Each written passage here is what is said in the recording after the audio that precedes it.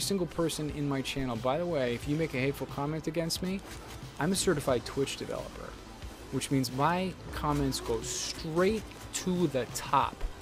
And I will have your ass banned off this fucking platform so fucking quick.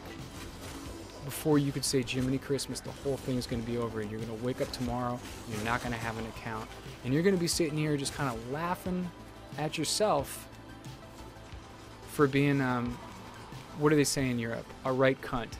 So I mean, you know, I have no problem doing that. I enjoy it. This is how I get my. Uh, this is how I get my.